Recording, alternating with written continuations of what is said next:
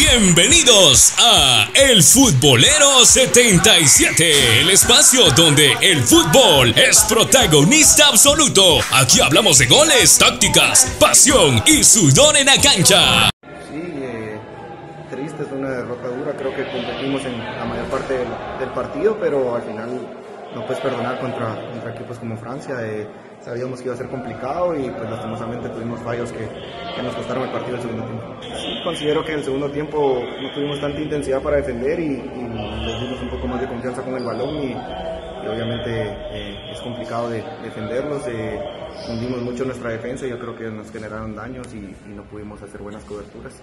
Eh, triste como te digo por el resultado, creo que competimos de buena manera, pero, pero al final no puedes perdonar, es un mundial y, sabíamos que iba a ser así.